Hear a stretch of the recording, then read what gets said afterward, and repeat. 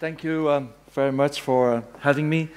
You know, there's some rivalry between Strasbourg and Brussels, which is the real capital of Europe. And uh, I'm so glad that you said Brussels is the capital of Europe. they are the seat. Cities for people. And um, I really feel a little bit strange to be here with you because uh, it's not my first time in Oslo. But, um, you know, I'm coming from Brussels, and all of you who have been in Brussels, probably you have noticed we have so many cars in the city. And you are talking about a car-free uh, Oslo, and uh, when I'm walking around Oslo, for me, it's already car-free, uh, actually. I'm just walking around to say, where are the cars? Where is the noise? So it's something very uh, strange. But anyway, um, I just want to say we are no hellhole, you know. You have an American guy at a reality TV star who is uh, running for president of the United States, and he has said he was 20 years ago in Brussels, and it was such a nice city, he said. And today it's such a hellhole. What happened? I don't know if you have heard that after the attacks, he had said that, and just want to show two uh, pictures how beautiful Brussels is, and that we are not the Islamic State of ISIS, of Daesh. Uh, we are just a normal European uh, city with normal European people uh, and very international people living in. Just quick introduction of, um, of Brussels. It's uh, a capital region. We are the heart of Belgium, also the heart of Europe. It's 1.2 million people every, who are living actually in uh, the region of Brussels, the city region of Brussels. It's uh, every day 400,000 commuters that will uh, come in. I'll come back on that later. We have 162 square kilometer, which is one third of your uh, uh, um, area here in uh, Oslo. 12% of our city is green spaces. We have six police zones. It is five too much. Um, we are. we are very international. We are the seats of many things. We are the capital of many, many, many things. But we definitely are not the capital of the bike, and I will come back to that uh, later. So we have uh, 19 municipalities, and that's sometimes complicating my life. We, um, you know, Oslo, if I'm not wrong, you have a density, population density of 1,400 per square kilometer. Um, in Brussels, it's uh, a, a, bit uh, 6,200, which means that we have a big, much density of people. And if you actually look uh, to the cards and the colors that are on the cards, you will see that there are areas in the city. We have more than 18,000 people living per square kilometer. And especially the one in the center there is with a lot of immigrants population. It tends to be very immigrant, uh, um, yeah, people of immigrant background who live in highly dense uh, areas. Once again, some beautiful pictures of beautiful Brussels. Uh, we have to promote Brussels now. It's official policy. of course. Basic mobility facts. One out of two of the people, one out of two of the people living in Brussels don't possess a car. More than all, half of the movements that are made in Brussels are for a distance less than five kilometers.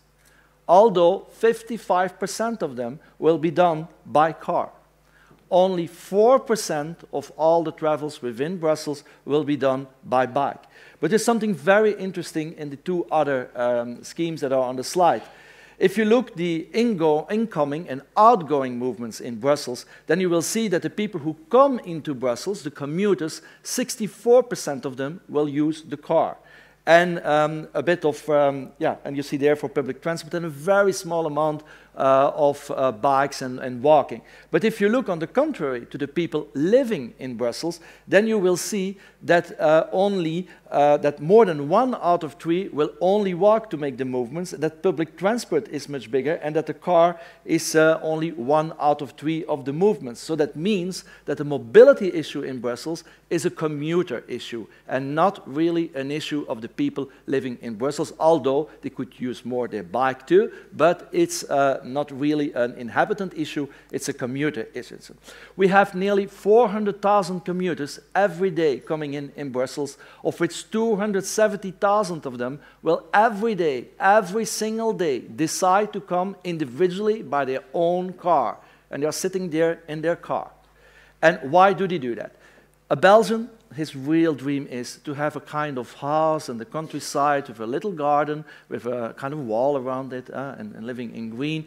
And um, so living in a city, we don't have these urban genes in a, in, in a Belgium. So the dream is to live on the countryside. And we have a federal policy, a tax policy, that stimulates living in rural areas. Although it's more expensive to live in rural areas for society, society will have laws that promote living in rural areas. Secondly, we have something very special in Belgium, that is company cars. Normally, I don't know, in Oslo, probably not in Norway, because you're very special on that issue, but in, um, in many countries in the world, you know, it's only the senior, senior, senior management that will get a company car. In Belgium, the junior, junior management will get a company car too, with a card to buy diesel. So of course people use their car. And why do we do that? Because it's a way of give some salary, uh, salary extra, and it's cheaper to do so. That, that's the reason why we still have many people coming by cars. Thirdly, we have a railway network, you know, maybe the RER or the S-Bahn in Berlin. Uh, we are working about that too. For those who speak French upon you, RER is a kind of express railway network. We call it Réseau éternellement retardé. For 20 years we're talking about it. But now it's going to happen, they say. We'll see. Federal government. And we are a small country. Belgium is tinny, tinny, tinny. You take your car, one hour later you're in France, one hour later you're in Germany, and uh, not even one hour later you're in the Netherlands, and then you still have Luxembourg somewhere behind. This is a very interesting card. It's where the commuters live. And you see in the middle over there, uh, the very dark spot, that's uh, the Brussels capital region. And all the commuters, they just live around in an area of 20, 25 kilometers, 30 kilometers around Brussels. So if we had this real railway network, it would be very simple to uh, resolve our mobility issues. It's complicated. We have four public transport operators in Brussels. We have the TAG, is from the Walloon region, Brussels depending on me, the Lijn is the Flemish one, and the SNCB is the federal uh, uh, railway system. We don't have tariff integration yet, we don't have an integrated marketing of public transport, but we do have now one mobility card. It's called the MOBIB card with one uh, technology. We have nearly 365 million journeys only on the public transport of the STIB of Brussels.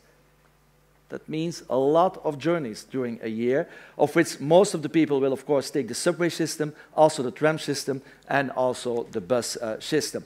So I'm not going to go in, into the figures, you can read it later, but um, you see we have a lot of public transport that is developed in uh, the city. This is the regional express network that should go out the city to get people uh, into the city. This is that Donald Trump liked when he visited Brussels. 20 years ago, 30 years ago, it looked like this. Um, you know, you see the cathedral there, you had all, everywhere cars. And Brussels in the past, and I should explain it to you, you know, in the 50s, when was the after war, Belgium got a lot of uh, car plants coming to Belgium. And many European countries thought that the modernity, uh, development, going into the future, was investing in the car. And so this city, my city, opened itself for the car. And we built tunnels, we built flyovers, we uh, killed houses. Uh, literally, we done. We have demolished beautiful Art Nouveau buildings to join the so-called modernity uh, idea. And then we got this. But today, lucky for us, it looks um, uh, like this. And they're the same places as you saw uh, before.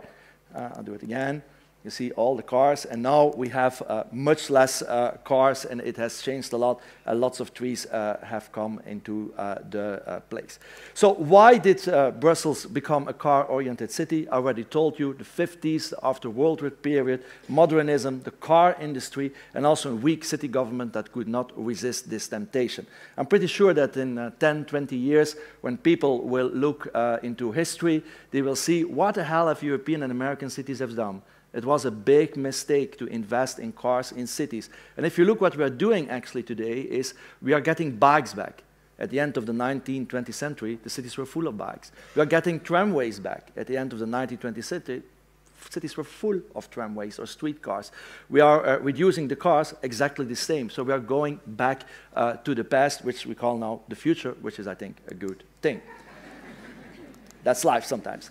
So we want to change Brussels, and from a car-oriented city, we want to become a people-oriented city, as many Scandinavian cities have already uh, done. And we are not talking I try not to talk about mobility when I'm explaining that to the people.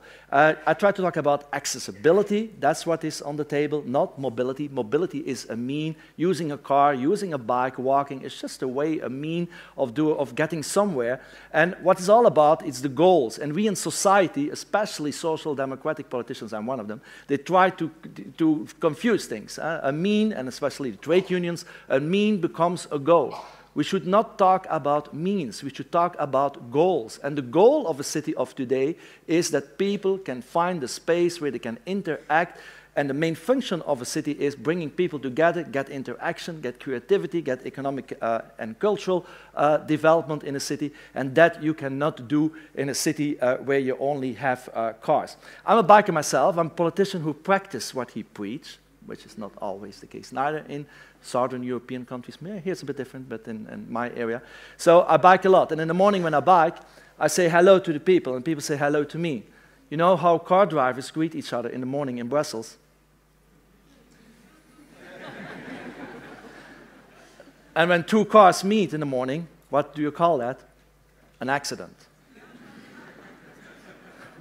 It explains a lot, the way of thinking. So if we want to get less aggressivity in the city, if we want to get the quality of life in the city better and this function of meeting each other in a city, if we want to get the air quality better, because about the kids, about the asthma of the young kids growing up in modern European cities, then we have to redevelop our city, to rebalance our city, and I'm not against the car. I use my, a car myself, although I have an electric car, but I use it once in a while, only when I really need it. And for me, it's a question of solidarity. Because when everybody who uses not a car, when he has an alternative, he makes it easier for someone who doesn't have an alternative and is obliged to take his car to use his car. In a way, it's solidarity that is uh, playing uh, here.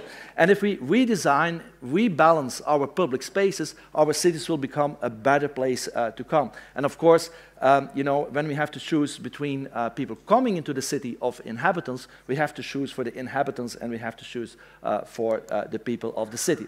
What are we going to do? Brussels is going to, uh, well, you're not still in, you're not yet in the euro. Huh? I hope you will be one day.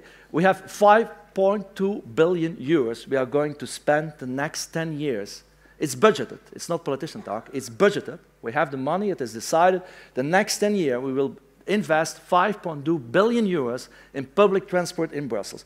We will get our subway system modernized. We have to change it, uh, the existing lines, but we're actually now building a new line uh, right through the middle of, uh, of the city. we are still investing in tramways too. We, have, uh, we are going to build a complex near the Heysel. Uh, we are building actually today two new uh, tram lines so that we have uh, much more people getting into a tram. And we are redesigning our bus scheme and we will buy 235 buses. And we have decided that will become all green buses. We will no longer buy uh, diesel buses, uh, only hybrid buses, 235 now we will buy them this and next year, and then it will only be electric buses in Brussels. So in 2025, 2030 at the latest, when you come to Brussels, it will be only electric uh, uh, buses. We are investing in a cycling uh, network for all of you who wanted to have a real urban city testosterone uh, and experience in Brussels. Go and bike in Brussels. Huh? And then you will have dangers sometimes, but we want bike lanes uh, like that all the time. We have people now biking in the city. And who is biking actually today? It's young, urban, male professionals, sometimes with lycra packs, sometimes uh, not, testosterone loaded, and they are driving like car drivers on the city, you know. Very often, cyclists in Belgium, in Brussels, will be a car driver on a bike. that exists too. And all the rest has to go away, you know, car driver on a bike. I'm here. So we have to work on that. And the only way to get people more on a bike is to get separate protected bike lanes. We are going to build, and we are building actually right now, 80 kilometers of, um, of a kind of backbone system of uh, protected bike lanes uh, in Brussels along that uh, uh model as you can uh, see it, because we want women, families uh, on the bike, and we want from 4% to go eventually to 20% of the people on, on, their bike. It's very challenging. Even today, I got on my Facebook, you know, a message of someone, and Flemish from origin, and you might know that the Flemish resemble like the Dutch, and we bike a lot. Um, and even today, someone wrote uh, a text on my Facebook Messenger, go back to Flanders with your bike where you belong, you know? People actually say that, you know? I won't do that. We are working also on uh, park and ride systems around the city, of course, 8,500, 10,000 even if we count everything we're going to build for 2020. It will be highly connected to the subway system or the tram lines so people can put their car and go on with public uh, transport. So we are working now for a new vision uh, for the city, lots more pedestrianized zones, squares, meeting places, and you see all the places in the city where we actually today are working on or the next years before 2020. This is Flagey Square. I don't know if some people know it. It used to be a square, as you can see there, at the right, a parking lot. Asphalt and only parking spaces. Actually, that's the reason why I went in politics, you know. I walked a lot in the city, and then I was always walking and saying, why the hell is this a parking space? Why don't they, don't they make a square? Why don't they take? And then I had to got the opportunity to get in politics and look like a nice square we have done. This is a square with all the Eurocrats go uh, and drink, you know, this very people, uh, highly paid, uh, overpaid people uh, in the European Union, uh, go and have uh, drinks, but it's also an area with poor people, of uh, immigrants. They meet. You have old women sitting there nipping their coffee. You have young guys who are smoking. and it's all living together perfectly in harmony. You have kids who are playing, so that's how a square should be. It's a German who designed it. The Reyers is a flyover. You know, we have flyovers. We're going to get rid all of the flyovers. If I had proposed this uh, 12 years ago, they would have locked me up in a lunatic house in Brussels.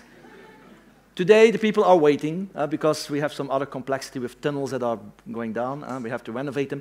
Um, and we worked on it, and now it's so major change. It's possible. The city of Brussels, the city region of Brussels has changed the last 12 years. Place Rogier, the same thing. We are building it now, a bit too slow, uh, but it's nearly finished uh, in September. And then we will have a nice car-free meeting space. Before, it was only cars that were parked on that uh, space right in the middle of the city. And this is... Um, Another project, we have a congested shopping street today. We are going to uh, transform it to a car-free uh, street during day. During night, we will allow uh, car traffic uh, to pass on it. And a big surprise, the people who are living there, the shopkeepers, the local municipality, and me, we all agree. There is no fuss about it. And I will explain later on another case where people don't agree why this is this. Because we opened here a dialogue right from the beginning with everybody. We implicated people, and they are now actually, impli actually implicated in the design of the uh, square. We are building new parks too, right in the middle of Brussels. You know, left is where you can see the, uh, how it is today, how it will be in uh, the coming uh, two years. Lots of green space we will uh, even diminish the, the asphalt there on the new design. It will be much greener than it actually is on the squares. Another new square that will become uh, two other squares, car-free. We get rid of the cars, we give space to the people. You see beautiful examples. And now I come to the, uh, the real topic of uh, my presentation and why I uh, should have been here. Uh, I still have two minutes. Well, well, well the car-free city center in Brussels. It used to be like this, now it is like this. This was a north-south traffic lane, uh, an axe used by transit traffic. We decided to get it car-free together with the municipality of the city of Brussels. You see here the perimeter. Um, it's uh, a lot of things. We go from 28 uh, hectares today to 50 hectares uh, today also. it's uh, the, the, the, the, purple one is the extension, but you see that we have included the big lane uh, there, which is of of course, a major shift. And uh, it is, uh, this is the parameter, this is how it is today, uh, how it will be in the next uh, two years. So no more cars, only people, only public space, only meeting space. Some more pictures how it will be. That is just an impression, we're not going to do that. Huh? It's kind of balloon. Um, this is uh, how it will be, you see the difference. The ones who know Brussels, it's right near the Bourse, uh, where we all cried after the attacks in Paris. People flock there to cry, to celebrate. That's the, the place how it's going to be. This is the Bourse. Uh, you might have seen it on television. It will look uh, like this. Yeah, there was after the attacks where the solidarity of the people were there. Same square, how it will all be different. Now I'm coming to the advice. Still one minute more. I get two minutes, I guess. Is um, I really believe, and this is a, case that has been handled by the city of Brussels. We were involved too, but we were not the ones who were taking the, the first major responsibility, was the city of Brussels. They did it completely wrong. And I'm going to give advice how not to do it. Uh, that's a beautiful example how not to pedestrianize the zone. First of all, there was no communication with all the stakeholders, the shopkeepers, the visitors, the citizens, And maybe we had to decide it like that. I was agreeing with that, that we had to decide it. But from the moment it was decided, you should go in a dialogue with people and explain why and implicate them and be empathetic to them and listen to them. Not always agree with them, but at least explain to them why they are wrong so that they understand uh, the, the arguments. And that's a picture of the mayor of the city of Brussels. You know, non élu, pas le bienvenu. He was kicked out of a restaurant which of course for a mayor is the worst thing can happen. Uh, if you are kicked out in your own city by a, restaurant keeper, it happened to him. He is not popular uh, anymore. He wasn't before, but it's now neither. But um, he didn't handle it well, and that's, that's an issue, I think. Secondly, you must tell a story. We live in an age of storytelling. If we want it or not, and I don't like it too much neither, but it's reality. The media loves it. It's storytelling. And that means that what you're doing is you have to need a strong identity. And once again, the identity should not be built on car free. The identity should not be built no cars. The identity should be built quality of life, better space for people, better place for meeting. That's the identity you want. You want happy people. And everybody, one way or another, is a car driver and a car driver. And if you come, oh, we don't want cars, people say, what, what is that? Some loony greenie uh, who is uh, explaining something? Uh? We don't want it. I'm green too, uh, by the way. So, social democratic and green goes together in Belgium.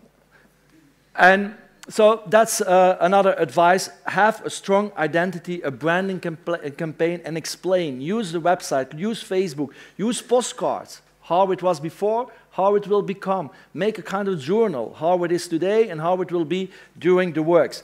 Um, and that's, I think, the most important advice is the project must unite and not divide people. You have two Facebook pages, you know, touche pas à mon piétonnier, that means doesn't, don't touch my uh, car-free zone, and the other one says, I'm against the car-free zone. It's not good, because then you get division in a city. You get a kind of antagonism, and you get the kind of, uh, you know, united, you need unity. And of course, not everybody agree, but you need a, uniting project, and especially in times as today, the project of, of, of, getting quality of space in the city should not divide, it should uh, unite. Um, it's been said by Strasbourg too, go ahead with the project. Um, another thing that they did in the city of Brussels, I was absolutely against it and they didn't want to listen, uh, but, and they wanted to do it. They had a test period of eight months that of course became 14 months, uh, and then they are not even starting the works then, you know, and people say, what is this? And contrary to America, uh, where they are not used to a lot of things, um, we have uh, temporary things done in the street, and, and people thought it was a little bit too cheap, you know. Uh, they want quality. So if they don't see the improvement very quickly, uh, then they will turn against uh, the, uh, I'm nearly finished, the project. And then, of course, reassure and communicate on the accessibility of commercial areas. Thank you very much.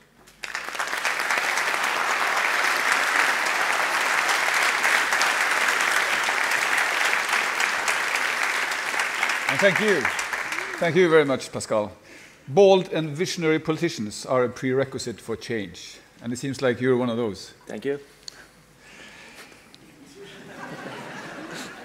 Tweet that to Belgium.